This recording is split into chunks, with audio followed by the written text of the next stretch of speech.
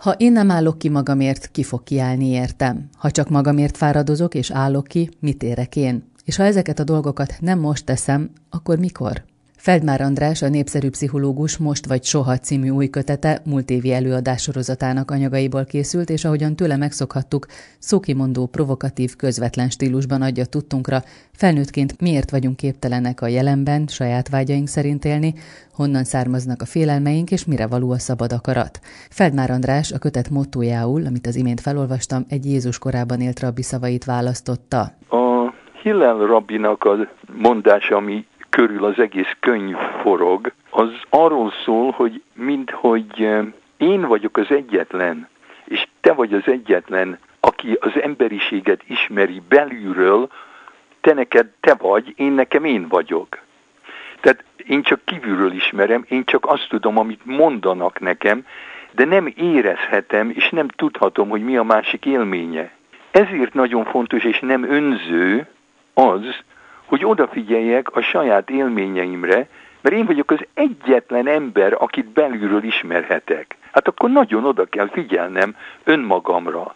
És, amit a Hillel mond, hogy az első feladata az embernek, hogy ezt kimondjam, hogy nyilvánossá tegyem azt, hogy velem mi van, mert ha nem, akkor soha senki nem tudja. És abban a pillanatban, amikor kimondom, hogy én mit szeretnék, akkor láthatom csak meg, hogy ki a barátom, és ki az ellenségem. Mert a barátaim mindig segíteni fognak, és aki nem segít, az nem a barátom, az az ellenségem. De addig, amíg nem fejezem ki, hogy én nekem mi kell, addig azt se tudom, hogy ki a barátom, ki az ellenségem.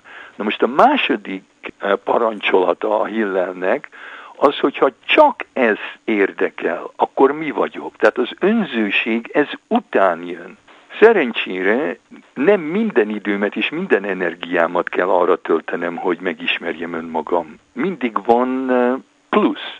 Ez az a plusz, amivel másokat segíthetek. Ez az a plusz, amiből másoknak adhatok. De vannak olyan pillanatok, amikor az ember pontosan tudja, hogy milyen az ő ritmusa, mik az ő legbelsőbb vágyai, mi az, ahogyan szeretne élni. Hiszen gyerekkorunkot arra treníroznak minket, hogy valaminek feleljön már meg.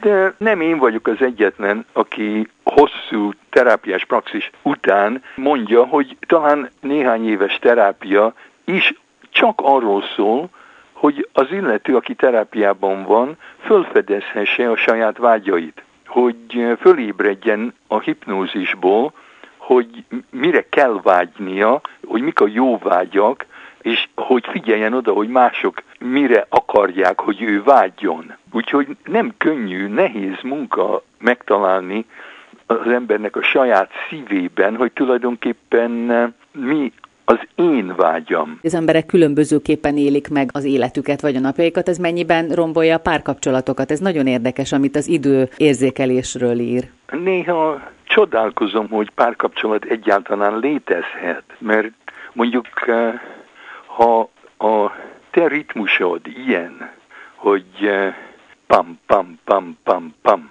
az enyém pedig ilyen, hogy pam, pam, pam, ez az én bioritmusom, tiéd gyorsabb, akkor még sétálni se tudunk a, a tengerparton, annélkül, hogy az egyikünk el ne árulja önmagát. Mert hogyha én olyan gyorsan sétálok, mint ami neked jó, akkor én nem vagyok önmagam. Ha te olyan lassan sétálsz, mint ami nekem jó, akkor te nem vagy önmagad. Beadod a derekad. Már abban a pillanatban egy ilyen felsőbség és alárendeltség keletkezik. Olyan érdekes ez a mondat, hogy a legfélelmetesebb dolog az ember számára, hogy szeressék. Miért van ez így? Az, hogy én szeretek másokat, az az én elhatározásom.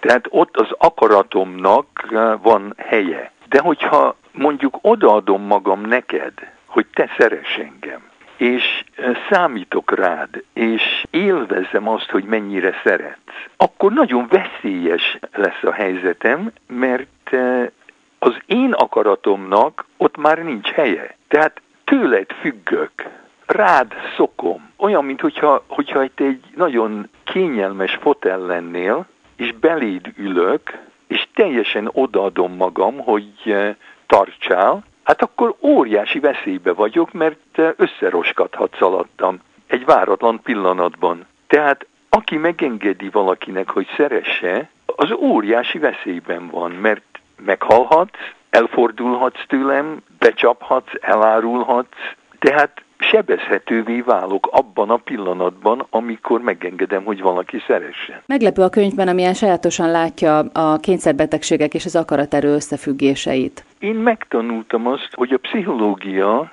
és a pszichiátria nem tudomány. Ilyen kvázi tudományok szeretnének tudomány lenni, de nem azok. Sajnos rengeteg pénzt lehet keresni abból, hogy valamit, ami egy egzisztenciális állapot vagy lehetőség, hogy abból egy betegséget csinálunk, gyártunk valami orvosságot, és akkor milliómosok leszünk, mert eh, mindenkinek kell az orvosság. Ha csak valakinek nincs agybetegsége, mondjuk tumora, vagy eh, tényleg valami komoly orvosi problémája, akkor azok, akik hozzám jönnek, azok nem betegek, azok emberek, akiknek problémáik vannak az életben. És ami nekem kell, ami nekem szükséges, az nem az orvostudomány, nem a pszichológia, hanem etika és politika. Mert azért érzik az emberek rosszul magukat, mert rosszul bánnak velük, vagy ők bánnak rosszul másokkal, és nincs elég hatalmuk ahhoz, hogy azt tegyék, amit akarnak, és ne azt, amit nem akarnak. Tehát 99% a praxisomnak etika és politika. Nulla pszichiátria vagy pszichológia. Hogyha valakinek az életében annyira nincs hatalma, hogy majdnem semmi sem történik körülötte úgy, ahogy ő akarja, hanem mindig valamit kell csinálnia, amit valaki más akar, akkor egy bizonyos kis területen belül teljesen uralkodhat a környezetén. Például, hogyha én elhatározom, hogy eh, ilyen kényszeres, úgynevezett kényszeres eh, figyelemmel fogom kísérni azt, hogy tiszta legyen a kezem, hát akkor az érdekes az, hogy az emberek azt hiszik, hogy aki kényszeres, az nem tud nem kezet mosni. De éppen az ellenkezője igaz, annyiszor most kezet, ahányszor akar, és senki nem tudja megállítani őt. Például azok, akiket függőnek hívnak, általában azt hiszik, hogy az, aki iszákos, az nem tud nem inni. Dehogy nem. Nem akar nem inni. Annyit iszik, amennyit akar. Mondjuk az anyja melléből nem tudott annyit inni, amennyit akart, mert mondjuk túl korán lett elválasztva, vagy leválasztva. Viszont senki nem tudja leválasztani, vagy elválasztani a boros üvegről. De azt gondolnánk, hogy ő sem tudja akarni, hogy abba hagyja az Nem ivást. akarja akarni. Én még olyan emberrel nem találkoztam, aki, hogyha tényleg abba akart hagyni valamit, nem hagyta abba. Mondjuk valaki, akit alkoholistának címkéznek, Hát olyan nincs. Adj nekem egy alkoholistát, egy pisztolyt szegezek a fejéhez, és hogyha azt mondom, ha még egyszer iszik, akkor megölöm, hát ha öngyilkos akar lenni, akkor iszik, ha nem, akkor soha többé nem iszik.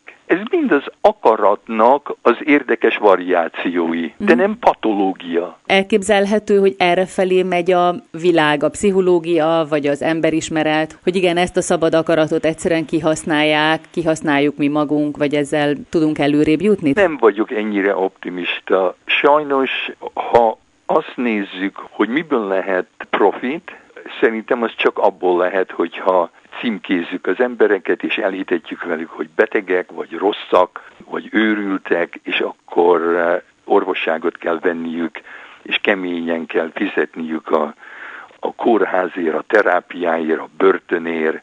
De eh, én remélem, hogy lassan eh, fölébred a világ, és rájön arra, hogy ha tényleg szeretettel és figyelemmel bánunk egymással, akkor megszűnnek ezek a problémák. Feldmár András most vagy soha. A kötetet Feldmár sorozatának első darabjaként a HVG kiadó jelentette meg.